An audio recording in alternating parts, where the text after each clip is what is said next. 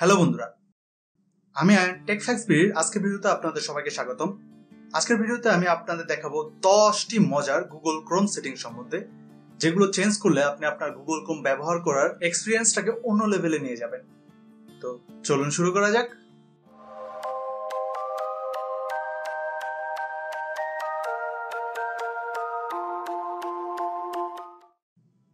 আপনার Google ক্রোমের সেটিংসটি change করার জন্য প্রথমে আপনাকে আপনার গুগল ক্রোমটি ওপেন করতে হবে।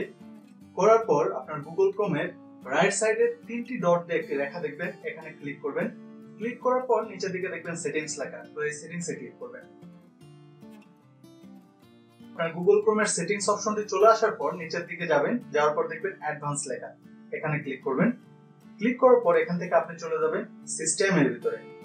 সিস্টেমে যাওয়ার পর আপনি একটা জিনিস দেখবেন যে কন্টিনিউ রানিং ব্যাকগ্রাউন্ড অ্যাপস এই অপশনটির কাজ হচ্ছে, আপনি যখন আপনার গুগল ক্রোমটিকে বন্ধ করবেন, এটি ব্যাকগ্রাউন্ডে তবুও চলতে থাকবে। এর ফলে আপনার সিপিইউ এবং র্যামের কিছুটা অংশ এই গুগল ক্রোমটি নিয়ে রাখে তার অ্যাপটি ব্যাকগ্রাউন্ডে চালার জন্য।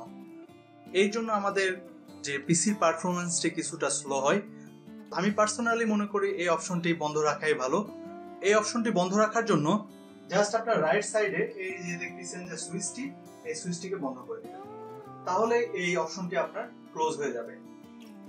এরপরের যে সেটিংসটি এটি হচ্ছে শো সেভড কপি বাটন এটি করার জন্য আপনাকে আপনার গুগল ক্রোমের যে, যেটা হিডেন সাইট বলা যায়, সেই সাইটে ঢুকতে হবে।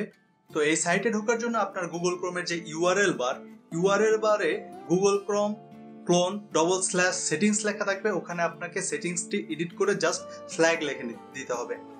তাহলে আপনি আপনার গুগল ক্রোমের সিক্রেট সেটিংস অপশনে ঢুকতে পারবেন। এখানে যে সেটিংস লেখাটি আছে, এই সেটিংস লেখাটি এডিট করে জাস্ট ফ্ল্যাগস লিখে নিচ্ছি। লিখে দিয়ে এন্টার করলাম। এখন আপনি গুগল ক্রোমের যে সিক্রেট সেটিংস অপশন এটিতে চলে আসছেন এই অপশনটিতে আসার পর এই অপশনটি আপনাকে সতর্ক করবে। কারণ এটি হচ্ছে একটি এক্সপেরিমেন্টাল প্রসেস যেখানে আমি বা আপনি কেউ র্যান্ডমলি কোনো অ্যাপটিকে ডিসেবল বা ইনেবল করতে পারব না। এর জন্য আপনাকে জেনে করতে হবে। তো আমি আগে যেটা বলেছি না, আমাদের এখন দুই নাম্বার যে অপশন সেটি হচ্ছে শো সেভ কপি বাটন এটিকে আপনার ইনাবেল করার জন্য প্রথমে আপনাকে এই যে সার্চ দেখতেছেন, এই সার্চ অপশনে যে জাস্ট লিখবেন শো তারপর সেভ লিখলেই শো সেভ কপি বাটন চলে আসবে, এখানে দেখতেছেন। এটাকে আপনি এখান থেকে জাস্ট যে ডিফল্ট দেখতেছেন, এখানে ক্লিক করে ইনাবেল প্রাইমারি করে দিবেন।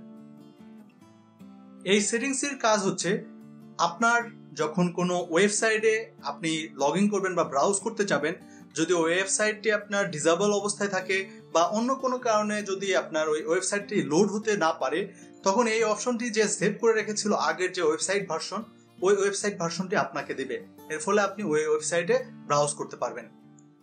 তিন নম্বরে যে সেটিংসটির সাথে আমি আপনাদের পরিচিত করে দিব, সেটি হচ্ছে প্যারালাল ডাউনলোডিং এটিকে আপনি আপনার কম্পিউটার বা গুগল ক্রমে চালু করার জন্য আপনি জাস্ট সার্চ বারে যে লিখবেন প্যারালাল ডাউনলোডিং তাহলে আপনি এটি পেয়ে যাবেন।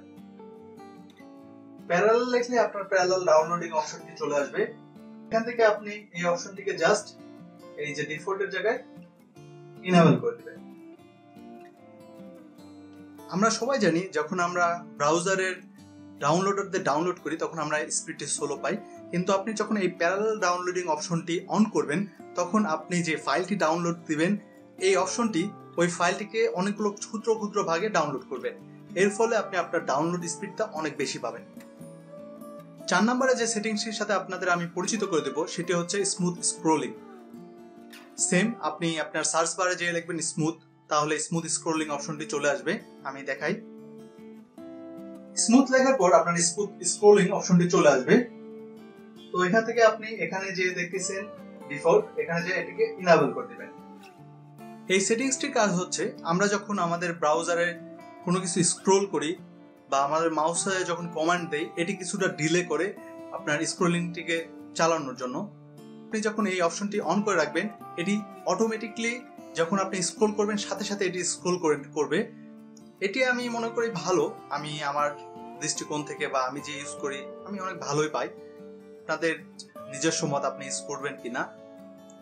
পাঁচ নাম্বার যে সেটিংসটি সেটি হচ্ছে নিউ অমনি বক্স অ্যান্সার অমনি লেখার পর আপনি নিচের দিকে যে দেখবেন যে অমনি বক্স এন্ট্রি সাজেস্ট এই অপশনটিকে আপনি জাস্ট ইনাবেল করে দিবেন।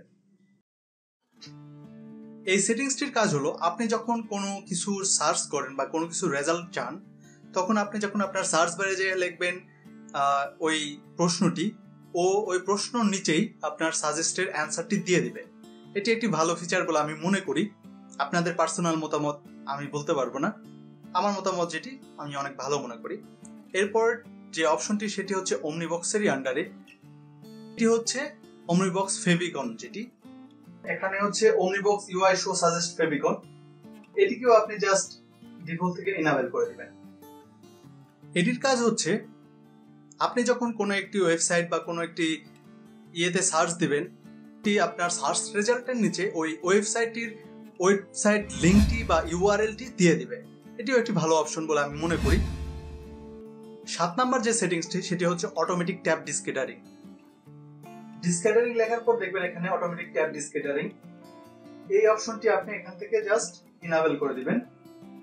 এই অপশনটির কাজ হচ্ছে, আপনি যখন কোনো একটি ব্রাউজারে অনেকগুলো ট্যাব ওপেন করে রেখেছেন, আপনি যে ট্যাবে কাজ করতেছেন, এটি শুধুমাত্র ওই ট্যাবটিকে চালু রাখবে এবং বাকি ট্যাবটি ডিজেবল অবস্থায় রাখবে এবং আপনি যখন ওই ট্যাবে ফিরে যাবেন, ওই ট্যাবটি আবার রিলোড হবে। এরপরের যে সেটিংস সেটি হচ্ছে ট্যাব মিউটিং আপনার সার্চ বারে যদি লেখেন মিউটিং তাহলে দেখবেন এখানে লেখা আসবে tab audio muting UI control তো এটিকে আপনি জাস্ট এখান থেকে ইনাবেল করে দিবেন। তো এই সেটিংসটির কাজ হচ্ছে, আপনি যখন কোনো একটি ব্রাউজারে কাজ করতেছেন, অনেক সময় অ্যাড আমার ব্রাউজারের ব্যাকগ্রাউন্ডে চালু হয়ে যায়, অনেক সময় এখানে ভিডিও চালু হয়ে যায় এবং সেখানে আপনার অডিও বাজতে থাকে। এই ট্যাব যে মিউটিং অপশনের মাধ্যমে আপনি দেখতে পাবেন যে আপনার কোন ট্যাবটিতে এখন সাউন্ড বাজতেছে এবং আপনি ওখান থেকে ওই ট্যাবটিকে মিউট করে দিতে পারবেন। দেখবেন ট্যাবের যে সাইডে একটি ছোট্ট স্পিকার বাটন, ওখানে ক্লিক করলে আপনার অপশনটি মিউট হয়ে যাবে। আবার ওখানে ক্লিক করলে ওটি আবার চালু হবে।